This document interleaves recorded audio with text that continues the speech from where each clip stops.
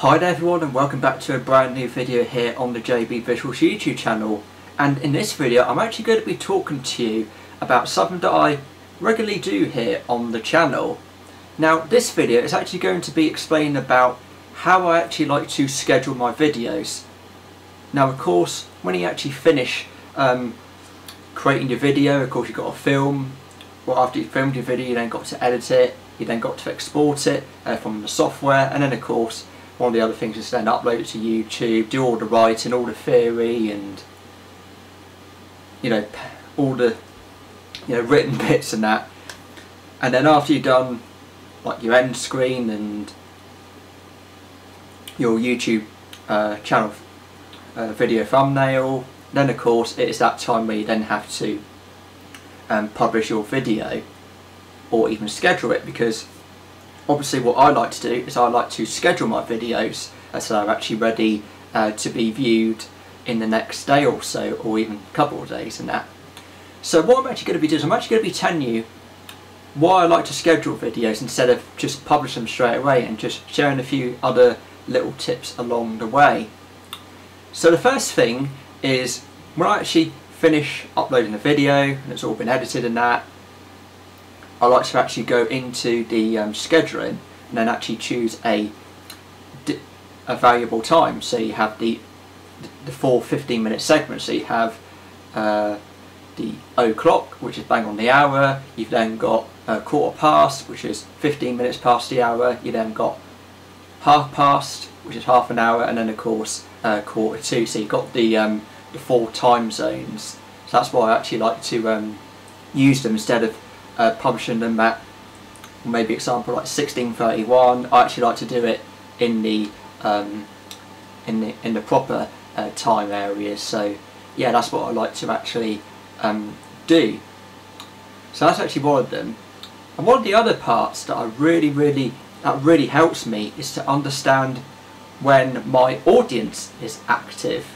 And I'm actually going to be showing you this on the computer. So I'll be uh, going through all the different settings and just giving you a bit more detail why I, I like to have a little look at it because it will help me understand uh, of when to schedule future videos. So what I'm going to do now is I'm going to get off the camera and head over to the computer and we will talk about this in further detail.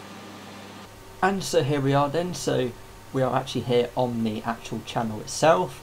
So as you may know, you can actually see I've already got quite a few videos scheduled uh, ready uh, to be watched in the next few days or possibly weeks, which you can actually see um, over here.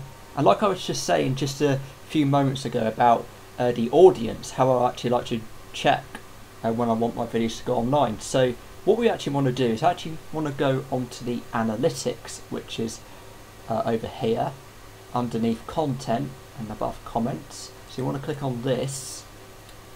And if you don't know what it is, it's actually just giving you a, a, detailed overview of how your channel's been doing over the past 28 days. It tells you all the, the watch time, the views, how many subscribers you've gained.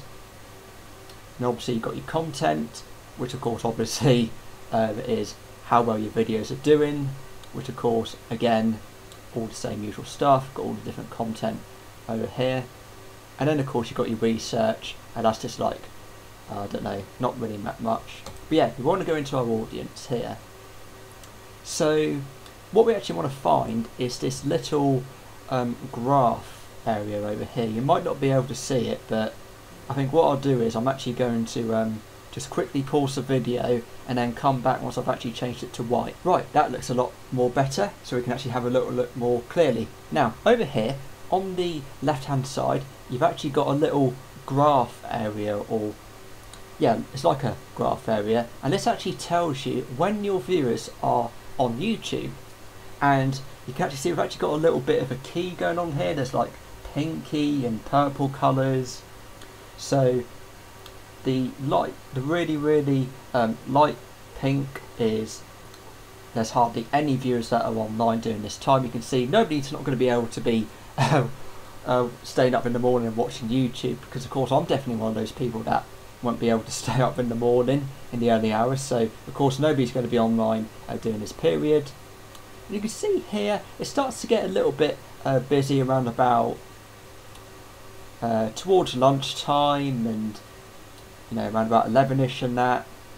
But for me, I like to upload my YouTube videos a little bit later than usual because you can see here, this dark purple section, all these purple uh, coloured blocks, rectangles I mean, is when your viewers are mainly online. So many of them are online. So that's why I like to um, keep an eye on this little um, graph so I can actually then go to myself, right, once I've got that video finished, I'm then going to schedule that video uh, for a later time so people can actually um, find that video uh, online at a suitable time and of course that is when uh, the channel will get even more views. So you want to try and keep your videos online around about the early hours in the evening definitely not too late or too early. You want it to be uh, bang in the middle. So that's why I actually like to um, uh, keep my videos online between around about 4 to 7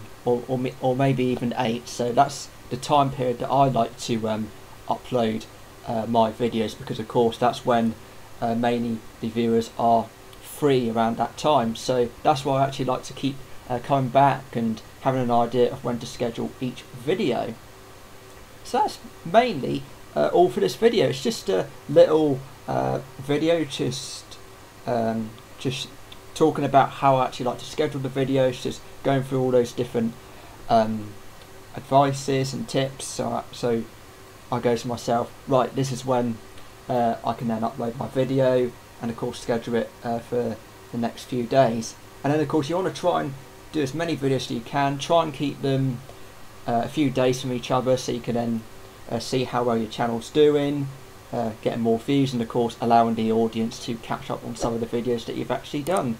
So yeah, that's literally it then. Thank you very much for watching. Uh, there's loads of videos to come online in the next few weeks. Really, really exciting as we make our way uh, towards the final months of 2023 and beyond. So thank you very much for watching and remember keep on filming and keep on editing. See you all very soon. Bye for now.